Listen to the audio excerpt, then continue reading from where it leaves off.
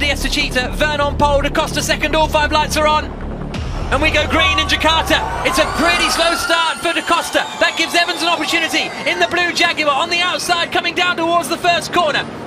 But Da Costa has the inside and he holds the place. There's a huge squeal of tyres as people try and make it around the first corner, but everybody, I think, has got through safely. Wehrlein has made up a couple of places. Now they come through turns two, three, and four. Wehrlein has got ahead of Nick de Vries as well and up into eighth place. Brilliant start from the Porsche driver, but Vergne holds the lead. Da Costa didn't get away well, but he's still in second place in the black and gold Techeetah, and here comes Lotterer, forcing his way past Nick de Vries. I thought he was going to go into the side of his Porsche teammate for a moment, but he managed to keep it all together. Safety car is deployed, and there's a wheel off, and it's Oliver Rowland who was dropped to the back of the field. Antonio Giovinazzi going side by side with Sergio Sette Camara, and a bit of contact, I think, with his teammate there. And oh, and sent Giovinazzi spinning. Oh, and then Rowland's coming in behind. This is turn seven, and both Techeetahs lock up. Is this an opportunity for Evans? Round the outside. Big mistake from Da Costa. There's contact, and Evans is through. Into attack mode goes Jean-Eric Vergne. So Jean-Eric Vergne takes attack mode from the lead of the race. Attack in magic paddle.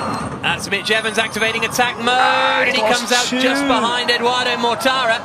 So Vergne is back in the lead of the E-Prix, and then Mortara is in second.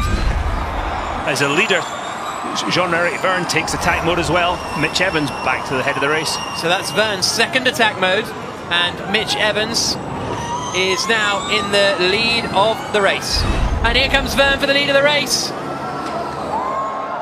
Into turn one, and Jean-Eric Vergne takes the lead.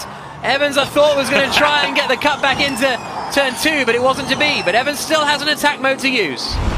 Here he goes, here he goes. Push and attack, no magic paddle. Push and attack. Through goes Evans, activates attack mode.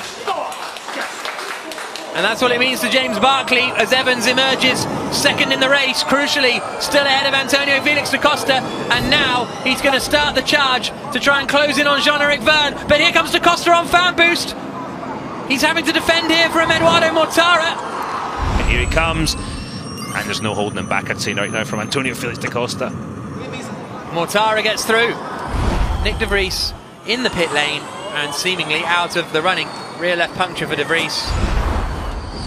But Ernst Evans to the inside. Evans attacks into turn seven and takes the lead of the Jakarta E-Prix. Where did that come from? Good job, mate. Good job. Vandoorne on the attack for fourth position. Da Costa covers the inside. Vandoorne to the outside. Nothing he can do, even with the fan boost. Vergne has a little bit less energy, and Vergne's going for the lead here. Down towards turn one. Evans covers the inside. But now he's got dirt on his tyres, Jack. Can't overdo it through turn one. Look how Gets slow out of he is. shape. Evans got out of shape. Vergne is all over the back of him. Bump. This is the view back from Evans. I'm struggling with the race. Evans under Full big lap, full lap, attack. mate. Two laps to go. Evans saying, I'm struggling with the rear tyres. They're coming down into the left-hander of seven. They're both, Evans and Vergne, covering the inside defensively. Can Mortara find a way through? There's only really two more overtaking opportunities. And the first one is coming up into turn 13. Through 12, this is the last, the run up to 13 now. No, he lifts really early, Mitch Evans. Vergne defending like crazy. So Evans put the energy back into the battery, back up to 1%. It's a long run to the line as well, so they may have to lift off here, Jean-Eric Vergne, earlier than Mortara. Mortara tries to get through. Vergne's out of shape. Evans is surely going to hold on. I think Vergne is going to run out of energy here. He covers the inside again.